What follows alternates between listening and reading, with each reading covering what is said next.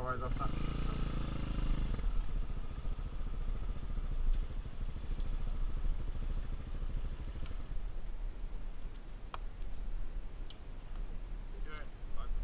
No, I've worried that guy was up uh, in my arse and I didn't want him to riding too close.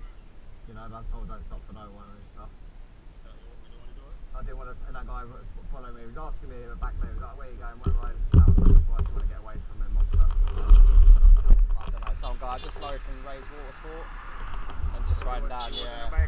He was on a bike as well, and I just I don't want to stop, you know what I mean, and get hassled.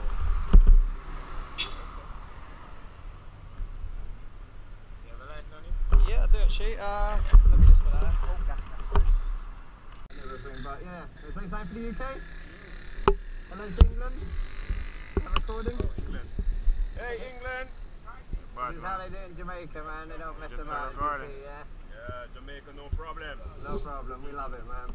Alright, I've been here for about five years now. I've got friends that live over Portland, that, but too far to ride over there. Okay, okay. Bit too risky as well, I think. Yeah. You're gonna need a friend to ride over there, man. Yeah, I need a taxi or something, but probably next year I'll go because there's so much money everyone wants and stuff. Everyone's like, oh yeah, need to hire a car, it's going to cost you this. I need a friend to come and pick me up, that's what I need from the airport, but long drive.